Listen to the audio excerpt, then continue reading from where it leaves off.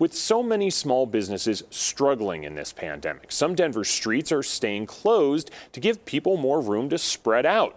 Going into the new year, the plan is to keep many of these streets as shared streets, but there are changes coming. Here's Denver 7's Ivan Rodriguez.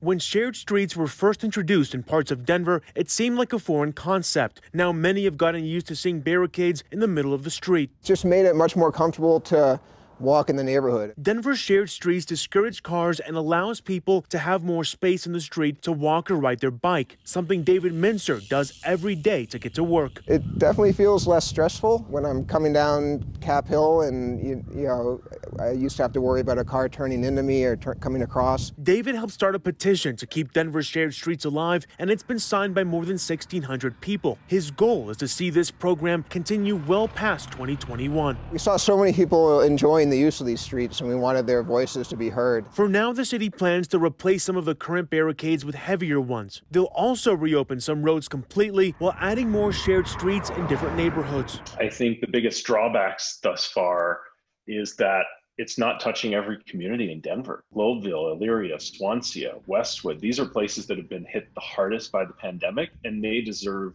places to be able to go to outside. Although the current barricades have helped, David believes there's still room for improvement. I see cars veering to avoid the barricades and they veer into the bike lane and they veer back and going at 30 miles an hour. So that to me shows how the design isn't working as it should. While the long-term future of Denver's shared streets is unknown, many in the community believe this pandemic invention deserves a permanent green light. Ivan Rodriguez, Denver 7.